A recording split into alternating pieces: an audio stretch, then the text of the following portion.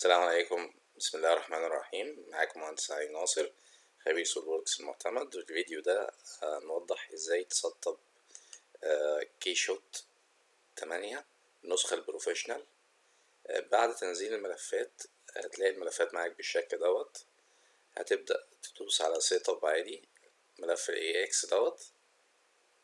double click بشكل عادي. يفضل طبعا تقفل النت وانت شغال دوس disable هيفتح معاك ال setup دوس next و I agree و install for just me أو for anyone uses this computer زي ما تحب. أنا اختار الخيار رقم واحد وادوس install هيبدأ يسطب الملفات عادي زي أي برنامج مفيش أي مشاكل. next next مفيش جديد. هو بس إزاي نعمل البرنامج ده نخليه كامل عن طريق ال crack بتاعه؟ الملف هتلاقوه على CAD Expert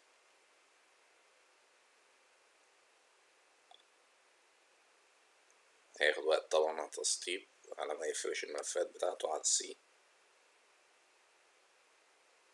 ندوس pause على ما يخلص. هو كده خلص التسطيبة يعني مش.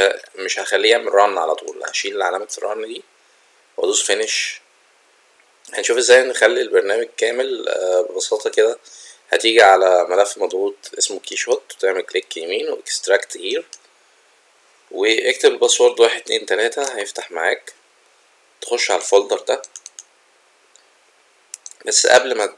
يعني تعمل extract اقفل ال antivirus عشان ما يعملش اي مشاكل. لو ال antivirus بتاعك شغال آه خد الملفين دول copy وخش على ال C Program File KeyShot تمانية آه folder bin واعمل paste هنا دوس replace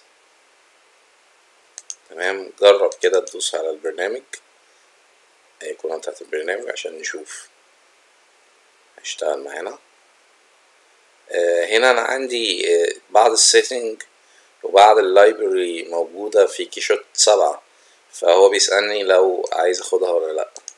طيب ماشي أنا هقول له okay. عشان ياخد ال settings ديت. لأن عندي كان في شوية materials و environments ضايفهم. فبدل ما أقعد أنقلهم تاني هو إيه هياخدهم. هيبدأ يفتح بقى البرنامج معاك. كده مفيش أي مشاكل البرنامج فاتح عادي. وتبدأ تشتغل عليه. طبعا كل سنة بيبقى أو كل فترة بيبقى النسخة بتبقى أفضل في الإضاءة وال يعني ال quality بتاعة ال render بتبقى أعلى من النسخة اللي قبليها. بمجهود أقل. تمام؟ آه طيب.